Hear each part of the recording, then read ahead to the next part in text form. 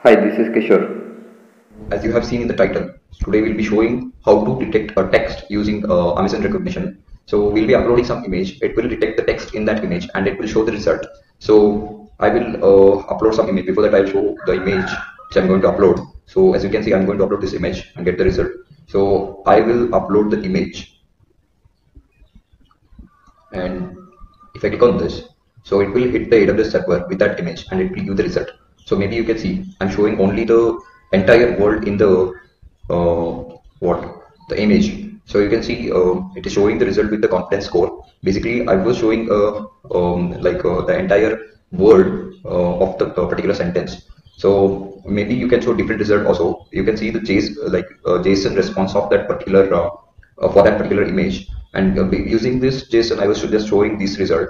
You can show something else also. So we'll share the code also so maybe you can see uh, this is the result. So now I will tell you like uh, where the code is. So I will share this uh, github repository uh, in the description. And you can see the code here and you have to download this and you have to install all the libraries uh, which I have mentioned in the requirement.txt and then you need to uh, run this app.py and you can see there is no credential for AWS here so for that you have to create it and you have to uh, place it inside the main folder. As you can see i'm running like i have i'm having this credential file in it. So how to create that credential file? That i have uh, already explained in my previous videos. Uh, again i'll explain the same. So maybe you can see i already logged into aws account.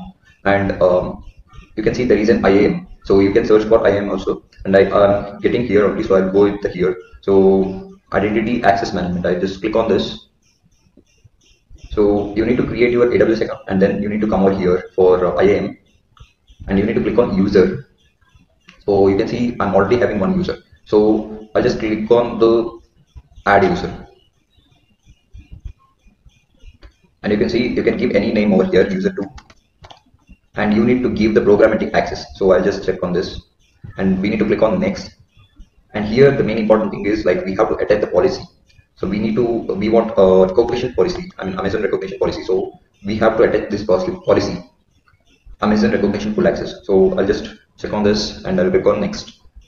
And I need to, uh, okay, uh, we don't have to give this tags. It's an optional. And if I click on this next, you can see there is uh, like overview of that uh, user and I create the user. Once I create the user, we will be getting this download CSV option. So we need to download this and we need to place it this folder, this file inside the project folder. And then after installing all the libraries we need to run this app.py then uh, we will be getting this particular UI so uh, you can uh, modify this code and you can uh, you know play with it. So that's it for today. Thank you for watching